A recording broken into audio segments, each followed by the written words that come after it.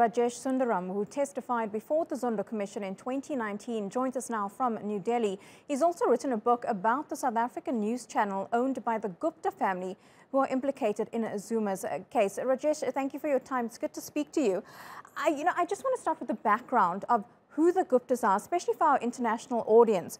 Uh, they're involved in what's been termed in South Africa state capture.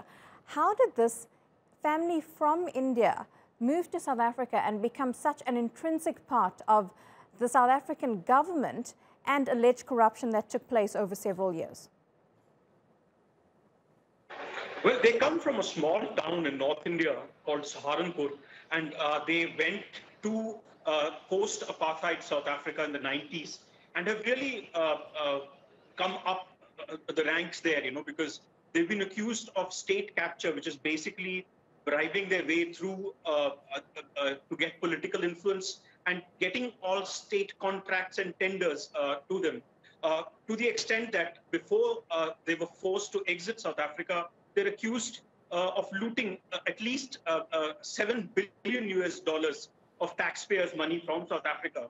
Uh, and the state capture involved was through uh, President Zuma. Uh, and most of the decisions there, including ministerial postings, including tender, decisions on tenders, were based on uh, the suggestions that were given by uh, the Gupta family and which were to, the, to their business interests. So clearly, uh, you know, this is a family that has operated with impunity, that has violated various laws uh, in South Africa. And currently, there is one case uh, in which there is an Interpol red corner notice that was issued today.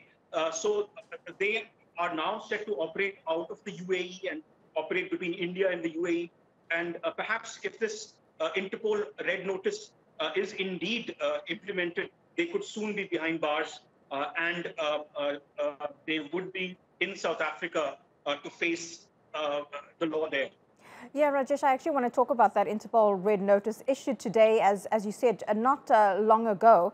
Um, they have fled South Africa. As you said, they're in the UAE. That's uh, where they're believed to be.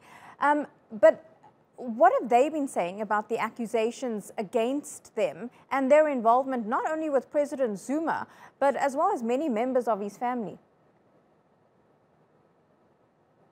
Well, uh, they have uh, said that they're not involved in any of this and they've denied all the charges that have been brought against them.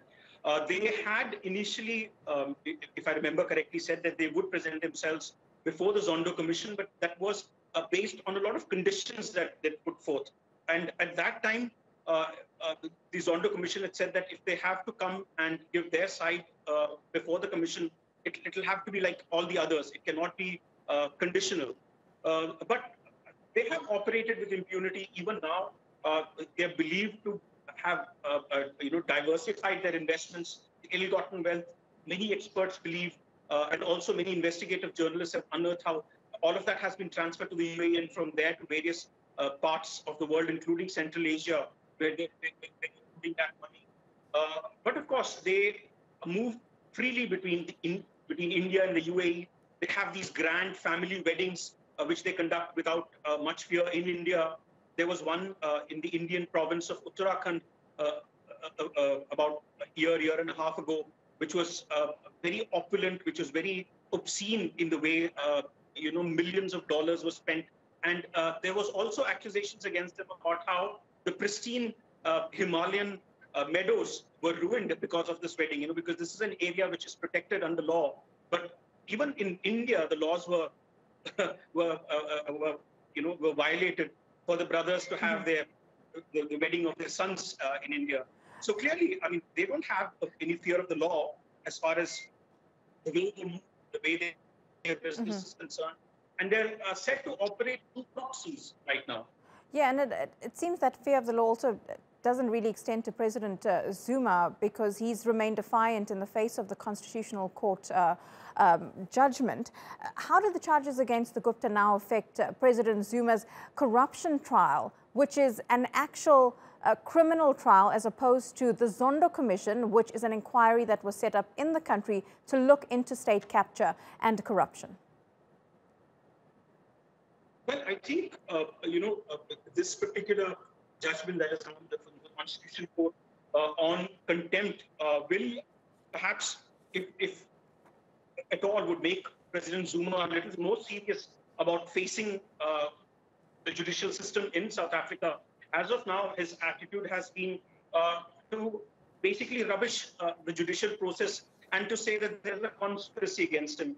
Even now, if you see, there are thousands of his supporters uh, who are there quickly right now in open defiance. So clearly, uh, the rule of law uh, in South Africa and uh, would, you know, there, there, will be a big reflection on that. if, you, if you see what happens to President Zuma, and if at all he will be brought to court to stand trial for the various charges that are there against him, not just for corruption. There are these. There's an arms deal where, where there are allegations against him, and across a, a, whole lot of ministries and departments uh, when he was the president uh, for, for the first term and the second uh, truncated term. Rajesh Sundaram speaking to us there from New Delhi. Appreciate your time. Thank you so much.